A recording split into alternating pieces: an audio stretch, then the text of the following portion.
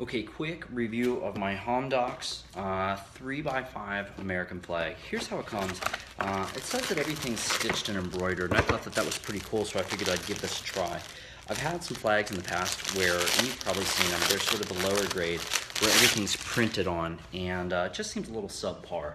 This is definitely on point. Uh, as you can see, all the stars are embroidered. They're all done really well.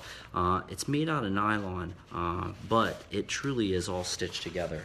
Um, and it is five feet. Don't want to let my flag touch the ground, but as you can see, uh, there are brass rivets, two of them, one on the top and one on the bottom. Uh, I plan on flying this not flying it actually. I'm gonna put it up on my son's wall. And uh, I had read about flag etiquette, and apparently it's okay to display a flag this way as long as you don't have it backwards. And what that means is that the field of stars is to the left. Um, that's to the flag's right because that's supposed to be an area of reverence.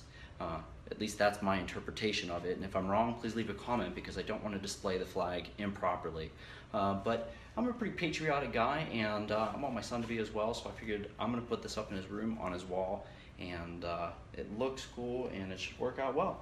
If you have any questions, please leave a comment. I'm happy to answer. Um, since I still have time on my review, the nylon does feel as though it's a heavier grade nylon.